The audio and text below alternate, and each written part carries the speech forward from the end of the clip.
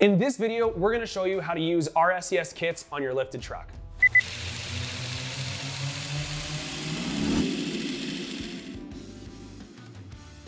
If you've got a lifted truck and you're trying to use one of our SES kits, you're gonna run into a little bit of a problem. Each one of our SES kits has been specifically designed to work on vehicles with a factory ride height.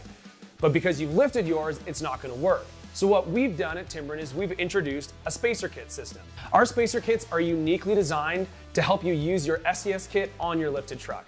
It comes with two half inch spacers and two one inch spacers and all the necessary hardware to allow you to mix and match and get that perfect ride height. So when you're picking out your SES kit for your lifted truck, make sure that you also include a spacer kit so that you can use our SES kits exactly the way that they were designed to.